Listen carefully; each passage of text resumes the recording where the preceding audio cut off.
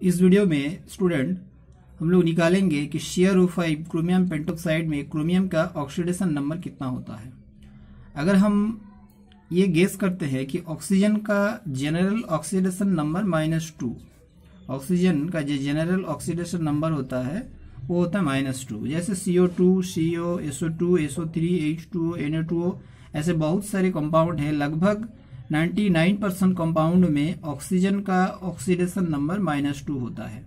तो अगर यहाँ पर भी हम लोग ऑक्सीजन का ऑक्सीडेशन नंबर माइनस टू पकड़कर क्रोमियम का ऑक्सीडेशन नंबर निकालते हैं तो उस हिसाब से क्रोमियम का ऑक्सीडेशन नंबर आएगा प्लस टेन क्योंकि क्रोमियम का हो गया एक्स और ऑक्सीजन का minus two into five is equal to ten इसको सॉल्व करेंगे तो एक्स इज़ इक्वल टू आएगा प्लस टेन मतलब शेयर ओ फाइव में क्रोमियम का ऑक्सीडेशन नंबर प्लस टेन लेकिन ये सही नहीं है, ये एक्चुअली गलत है. मतलब सी ओ फाइव में क्रोमियम का ऑक्सीडेशन नंबर प्लस फाइव नहीं है.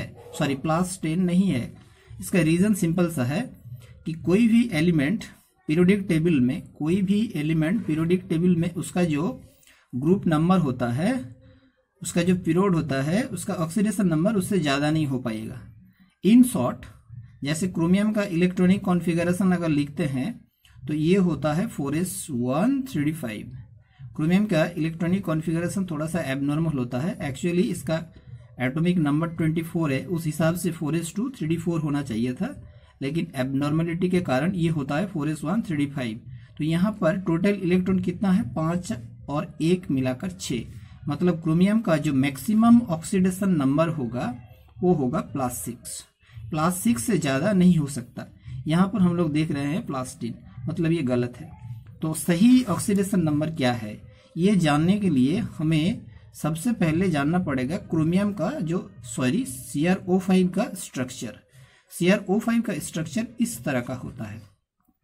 यहाँ पर जो पाँच ऑक्सीजन है, इस तरह से एक दूसरे से जुड़ा हुआ होता है।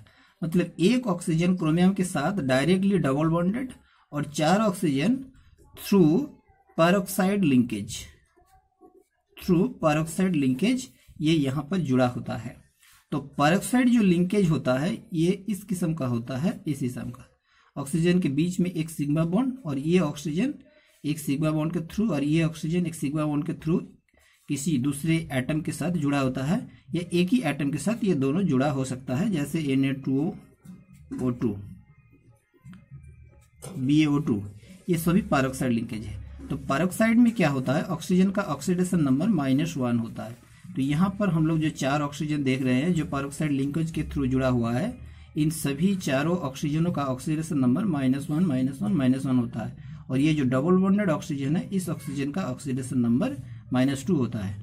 तो उस हिसाब से अगर यहाँ पर हम क्रोमियम का ऑक्सीडेशन नंबर निकालेंगे तो क्रोमियम हो गया एक्स और इस ऑक्सीजन का हो जाएगा माइनस टू और माइनस वन कितना है? चार ऑक्सीजन तो minus one into four is equal to zero इसको सॉल्व करेंगे तो हम देखेंगे कि क्रोमियम का ऑक्सीडेशन नंबर कितना हो रहा है? प्लस सिक्स ये सही आंसर है।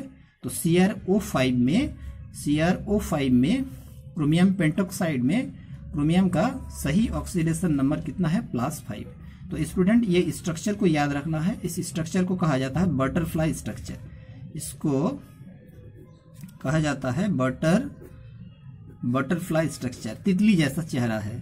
इसीलिए इसको बटरफ्लाई स्ट्रक्चर कहा जाता है और यहाँ पर क्रोमियम का ऑक्सीडेशन नंबर कितना है? Plus six okay